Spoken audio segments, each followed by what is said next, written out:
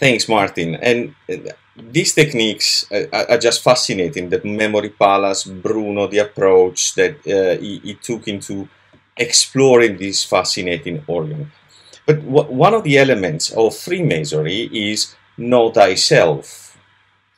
By meditating, by doing inner research, um, how much have you discovered about yourself? Well, yes, of course, I've learned many things uh, over the years. This is an ongoing process.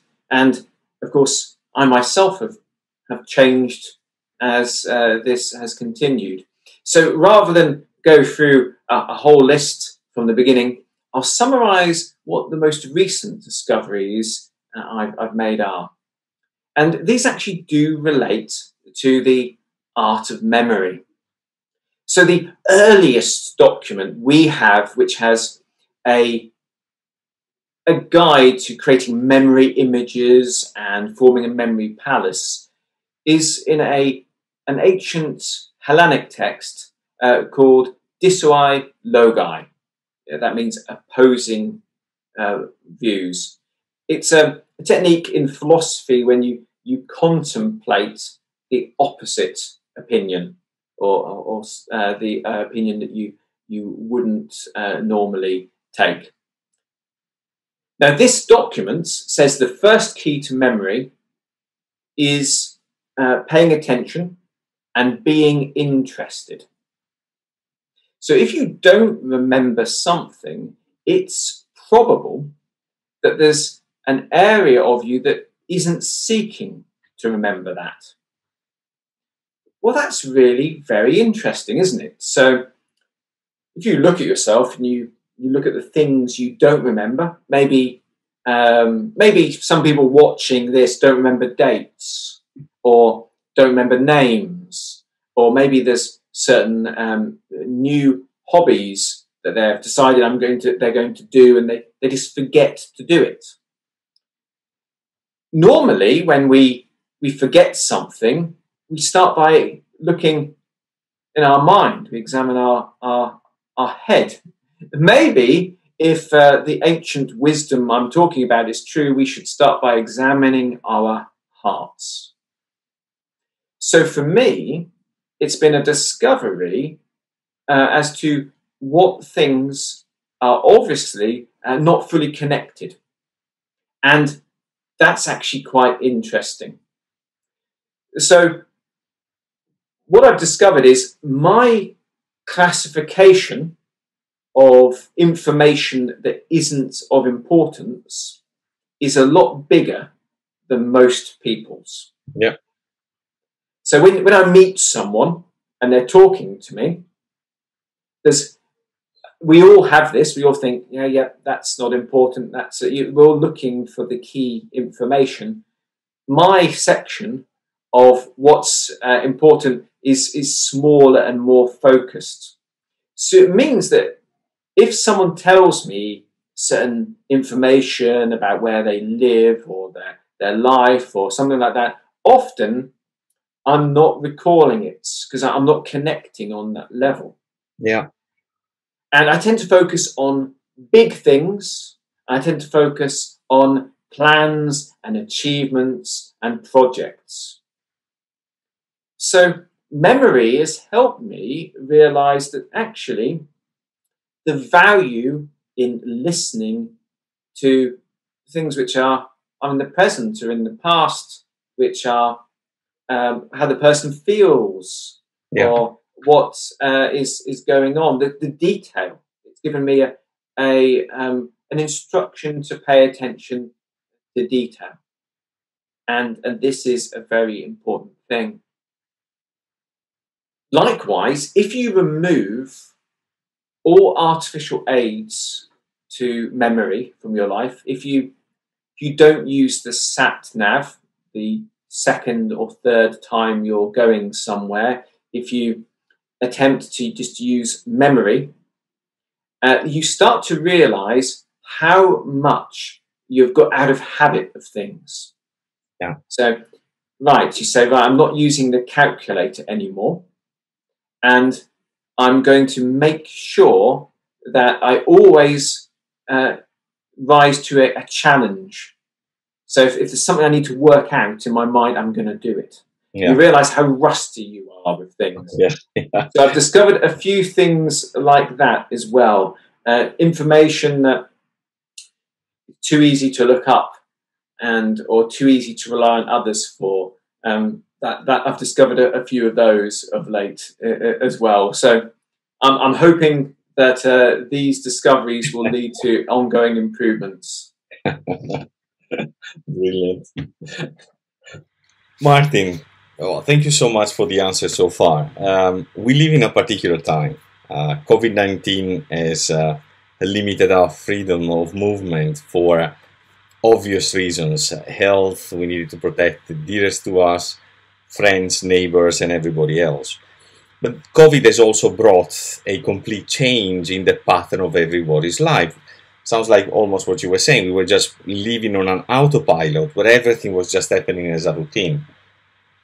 And that has brought uh, a number of us to, to start, you know, new routines or uh, start using different way of communicating, such as video calling, etc.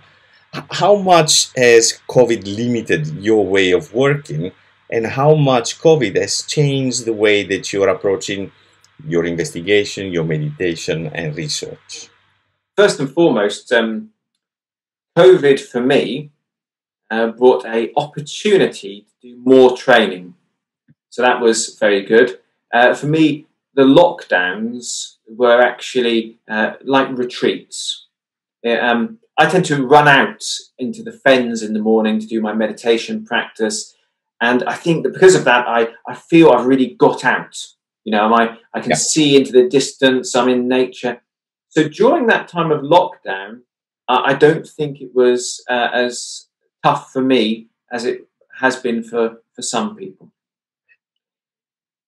Um, the change to work, it was um, quite a, um, a challenging time and still is a challenging time for me work wise because obviously, I work for a publishing company. I, for those who aren't aware, I work for Lewis Masonic, uh, the, the publishing company. And that company um, really specializes in works uh, for Freemasons who haven't been able to meet. It's been the, the first time in, in history when uh, that we haven't found, been able to find any way to be able to continue uh, uh, meeting. So it's been a challenge. I've had to do a lot of work and uh, fill in and find ways to adapt and do things and so on. It, it's it's kind of like trying to uh, function in a, in a blizzard because yeah. one change, you know, with, with COVID and, and, Brexit and, and so on, that's that's been uh, it's been pretty tough.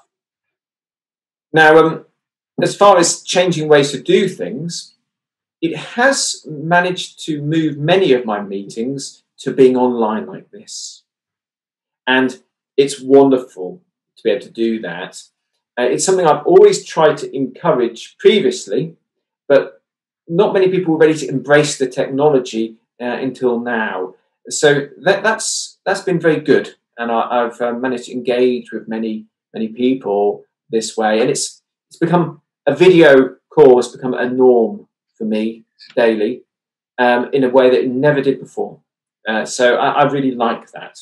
Yeah, I, I totally agree with you. I, uh, I in, in, my modest opinion, uh, COVID from this perspective is the butterfly effect that will allow Freemasons and professionals to meet much more frequently than before, thanks to the fact that you're willing to meet on a on a video on a virtual meeting room rather yes. than fly and do things. I totally agree with you. Totally agree.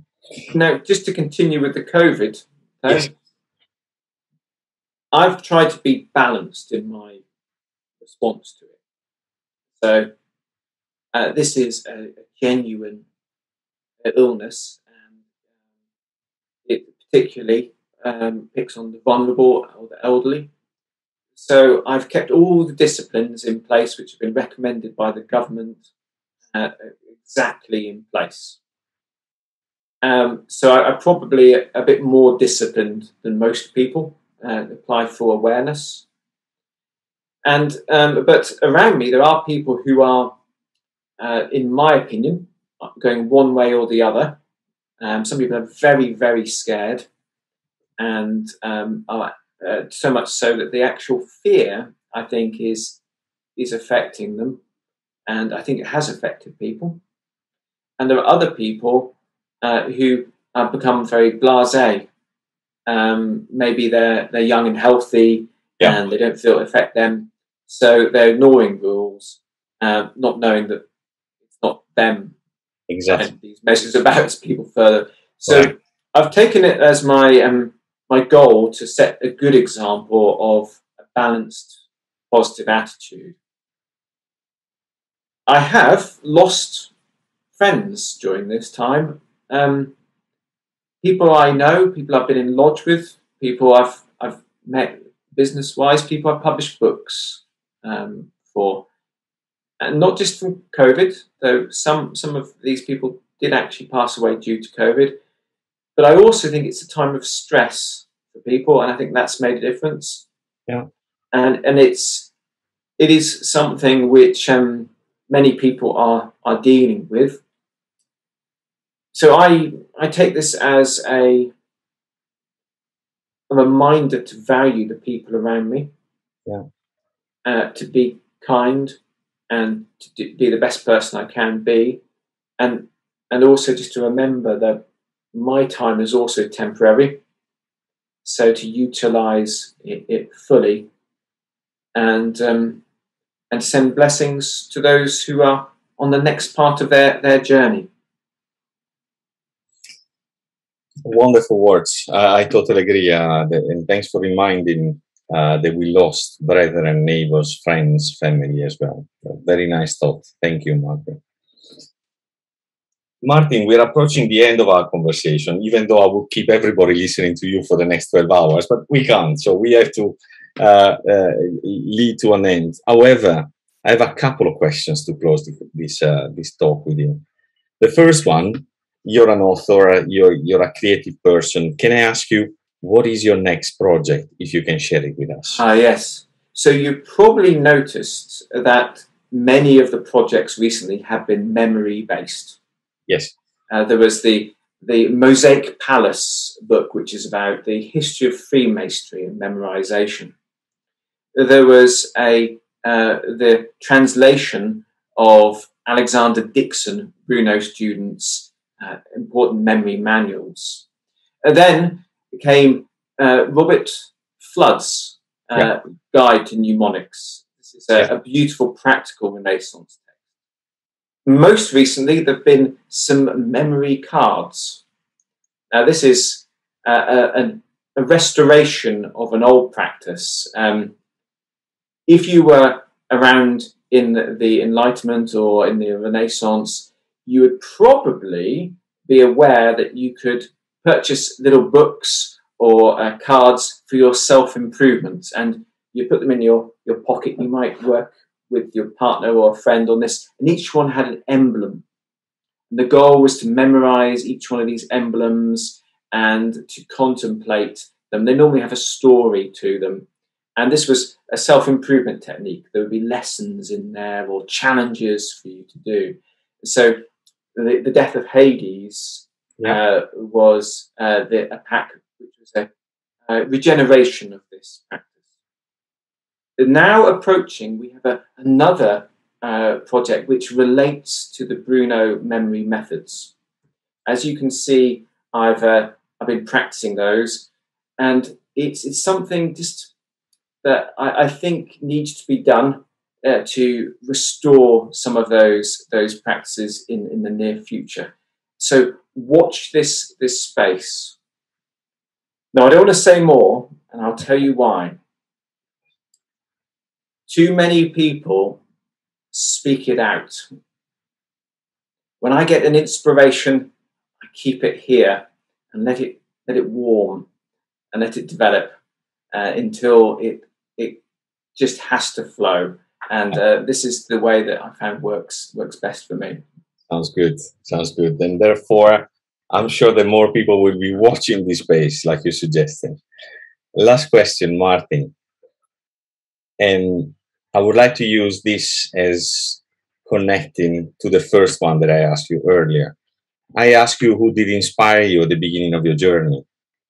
But who is inspiring Martin Faulks today?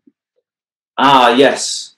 Um, so, as you know, I still follow the the path laid out by Franz Bardon.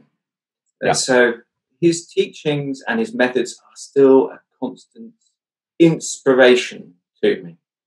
Uh, but also, as you've heard recently, there are, there are many memory masters which I, am studying under uh, through their, their original texts now. But I've found that inspiration, as I continue to live my life, comes a lot more easily to me. And if I watch carefully, almost everyone and everything around me has a lesson. So if I want to learn to to concentrate better, I can I can watch the birds of prey with their hunting. If I if I want to uh, learn to be more practical, I can spend time around someone who's really got that skill. So uh, nowadays, I think everyone I meet is an inspiration in some way, whether I'm learning from what they're doing right or whether I'm learning from some of the mistakes they're making as well. Brilliant. Martin, thank you so much for your time. Thank you so much also for being so open and honest in your response. Um, I've been learning in the past from uh, your lectures. Uh, I'm learning now during our conversation. I'm sure we will have more opportunity in the future. So thank you for the work that you do. Thank you for the efforts that you make because it's thanks to people like you and your work that we have the opportunity to learn about masters such as Bruno, Fludd, and others. So thank you so much. Thank you for your time, and I hope we will be meeting very soon. Thank you very much, Antonio. It has been an honor.